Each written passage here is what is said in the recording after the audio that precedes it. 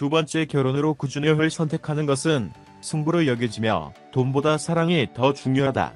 내 인생에서 가장 큰 후회가 현실이 되었습니다.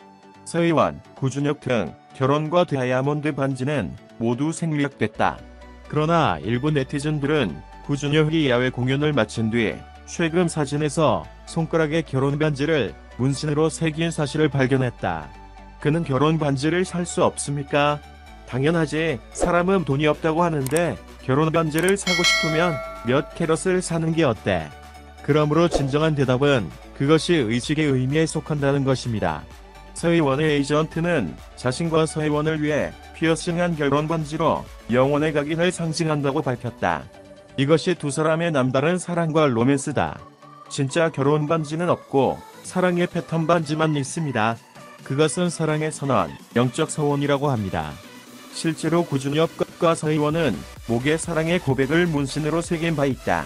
그 이유는 두 사람이 이러한 사랑의 의례적 의미에 매우 세심하고 부부의 모습이 매우 화목하고 화목해 보이기 때문이기도 하다.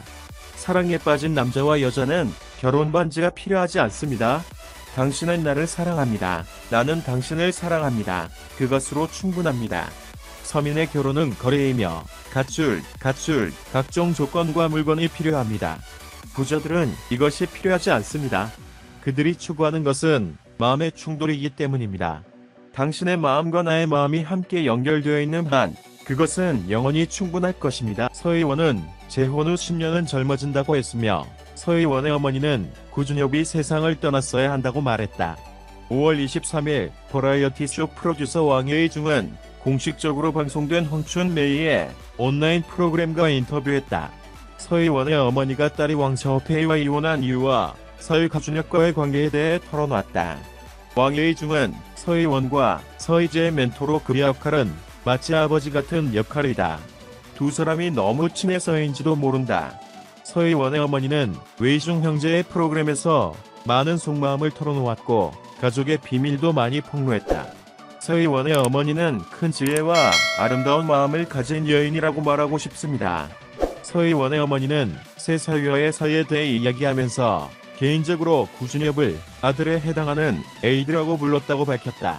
이를 보면 서희원의 어머니와 사위가 잘 어울리고 있을 뿐만 아니라 서희원과 구준엽의 애정이 더욱 깊어지고 있음을 알 수 있다.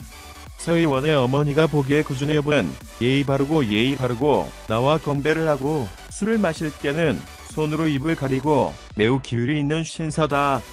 서희원의 어머니는 클론 멤버 강원래가 교통사고로 몸이 마비된 후 구준엽이 독주를 거부하고 강원래를 포기하지 않았기 때문에 구준엽이 충성스러웠다고 말했다. 서희원의 태도가 이렇게 빨리 바뀌게 하기 위해 구준엽은 정말 많은 노력을 한 것 같다. 구준엽이 서희원 어머니의 확인을 받을 수 있다면 서희원도 안심할 수 있을 것이다.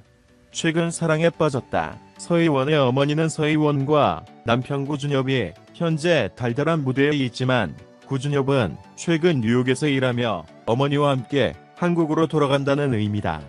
왕예의 중은 서희원의 성격이 충동적이거나 자신감이 있느냐고 물었다. 서희원의 어머니는 자신감이 있는 것 같다. 사실 계획은 자신이 있는데 나중에 어떻게 될지 생각이 잘 안 난다고 말했다. 물론 엄마로서 서희원의 엄마는 솔직히 행복했으면 좋겠다고 요구하는 게 별로 없다. 수천 마일을 갈 운명이라면 만날 운명이 아니라면 결코 만날 수 없다는 속담처럼 서희원 가족을 만나러 멀리서 찾아온 구준엽 두 사람이 함께여서 어쩌면 구준엽의 사랑이 더 클 수도 있다. 20년에 걸친 전화 한 통이 어린 시절 연락을 주고받은 두 연인을 다시 연결했다. 그 시절 첫눈에 반했던 것처럼 구준엽과 서희원의 플래시 결혼으로 재회하는 장면은 로맨틱하면서도 황홀하다. 서희원과 구준엽은 사실을 이용하여 그들의 진실성을 모두에게 증명하고 있는 것 같다. 세상은 덧없고 서희원은 마침내 진정한 사랑을 찾았습니다.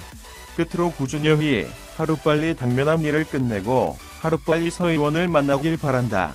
또한 구준혁의 커리어가 번창할 수 있기를 바랍니다. 그들의 사랑에 대해 어떻게 생각하십니까? 토론할 메시지를 남겨주세요.